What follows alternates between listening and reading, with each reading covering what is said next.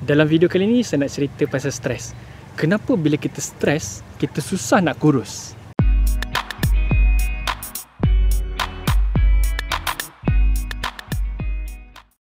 Assalamualaikum warahmatullahi wabarakatuh. Selamat datang ke channel Makan Makan Kurus, channel di mana saya akan berkongsi kepada anda tips-tips untuk menurunkan berat badan hanya dengan makan. Uh, tapi topik pada hari ini dia lain sikit. Saya nak bercerita tentang stres. Dan sekarang ni saya berada di uh, ladang sayur.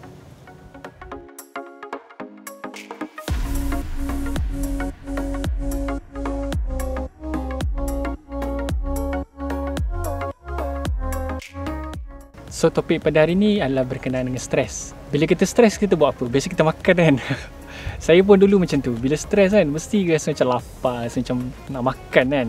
Dalam video kali ni saya nak share pasal stres. Kenapa kita stres? Apa sebenarnya yang berlaku kepada badan kita bila kita stres. Sebab stres ni sebenarnya dia adalah normal tapi yang tak normal adalah yang stres yang berpanjangan.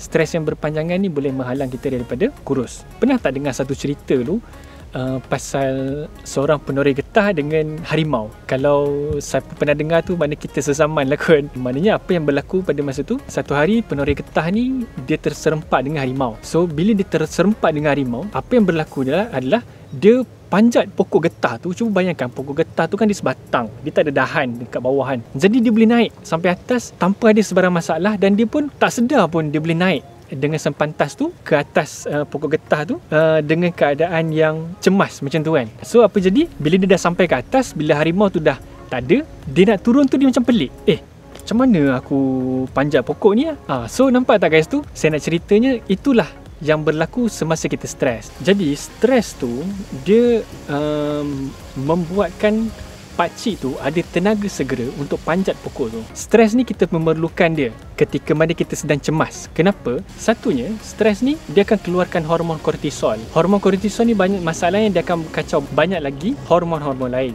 Contohnya, hormon kortisol ni dia akan hantar signal kepada hati kita untuk mengeluarkan tenaga dalam bentuk glukosa. Sebab glukosa tu kan tenaga. Jadi, hati kita boleh keluarkan glukosa dan masuk ke dalam uh, seluruh darah kita untuk membekalkan tenaga kepada kita lah. Jadi, tenaga itulah yang menyebabkan pakcik tu larat nak panjat pokok yang tinggi tu tanpa dahan yang lain kan. Satu lagi, nama dia adrenalin. So adrenalin ni kerja ni adalah dia akan pump jantung kita menjadi lagi laju dan juga dia akan buka pembuluh darah kita menjadi lagi besar. Untuk tujuan apa? Untuk tujuan kita bergerak dengan lebih pantas. So, gabungan antara kelebihan tenaga yang banyak tadi dengan keadaan kita boleh melakukan kerja dengan pantas menyebabkan pakcik tu boleh naik pokok getah tu dengan pantas. Ha, jadi itulah kegunaan stres sebenarnya. Jadi stres ni sebenarnya elok untuk kita menghadapi situasi-situasi kecemasan yang macam tu. Tapi masalahnya adalah zaman sekarang ni kita mana ada jumpa rimau. Betul tak? Kita tak jumpa rimau. Jadi kita stres dengan benda lain. Okay? Ada orang stres dengan tempat kerja, ada orang stres dengan customer, ada orang stres dengan supplier, ada orang stres dengan family. Macam-macam stres. Jadi, stres yang berpanjangan tu yang tak elok. Kalau situasi kepada pakcik tu tadi, dia hanya menggunakan stres tu sekali je. Dia nampak rimau, dia panjat, lepas tu habis. Ha, setakat tu. Dia dah gunakan tenaga dia untuk panjat pokok getah tu.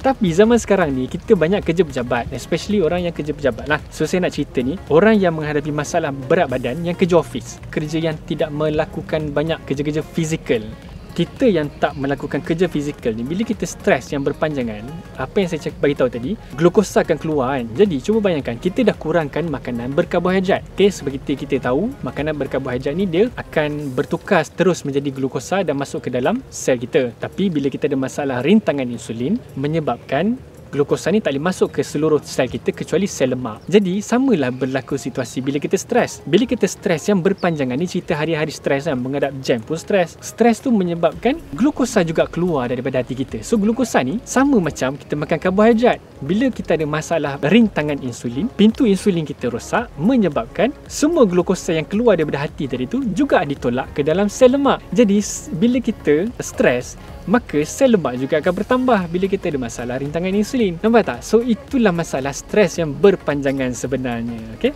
Jadi nak mengelakkan daripada benda ini berlaku, kita kena buat kerja-kerja yang boleh mengurangkan stres kita. Contohnya buatlah hobi-hobi kita kan. Kalau kita suka mancing, kita pergi mancing kan. Seminggu sekali, tak kisah. Janji jangan hari-hari kita stres. Tak pun paling senang, paling mudah sekali adalah bila kita tengah stres tu, kita ingat, Oi, aku tengah diet dah. Oi, nanti kan susah pula nak kurus kan. oh, baik aku slow down. Nah cukuplah kita ingat macam tu untuk kita kurangkan stres kita okay dan uh, stres ni macam-macam dia lagi lah boleh berlaku menyebabkan kita nak makan banyak kan? Sebab apa? Bila glukosa keluar dengan banyak dalam badan kita menyebabkan semua bila semua ditolak ke sel lemak so dalam masa yang singkat glukosa pun apa jatuh kan. Jadi masa tu menyebabkan kita lapar. Nampak tak? Itulah situasi yang menyebabkan bila kita stres kita lapar. So kalau hari-hari berlaku macam ni tak baguslah kepada badan kita menyebabkan kita susah nak kurus. Walaupun kita dah kurangkan makanan berkarbohidrat. Uh, buatlah apa-apa aktiviti. Macam contoh saya hari ni saya sebenarnya pun tengah stres ni. PKP kan kita duduk kat rumah banyak kan. So hari ni saya datang ke kebun uh, family saya sepupu saya uh, yang ada banyak uh, ulam-ulam ni uh, untuk saya release stres pada hari ni. So saya nampak hijau kan. So kuranglah stres saya pada hari ni. Itu saja untuk video kali ni. Uh, jangan lupa tekan butang like dan subscribe dan tekan butang loceng tu uh, untuk anda tak terlepas saya punya perkongsian. Jadi, uh, apa aktiviti anda yang anda buat untuk uh, release stres? Cuba anda komen di ruangan komen di bawah. Okay? Dan kalau anda nak tahu uh, apa itu masalah rintangan insulin, saya sharekan dekat ruangan description di bawah. Tonton dulu video tu, okey? Semoga berjumpa lagi dalam video lain. Bye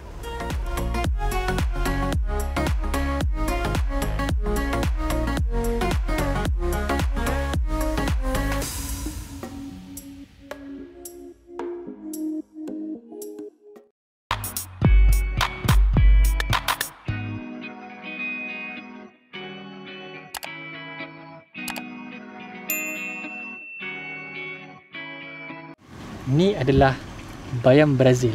Bayam ni walaupun dia bayam Brazil tapi dia tanam kat Malaysia. Tapi sedap. Makan dengan sambal belacan boleh, makan dengan budung boleh. Uh, tengok ada banyak lagi uh, bayam Brazil sampai ke belakang sana.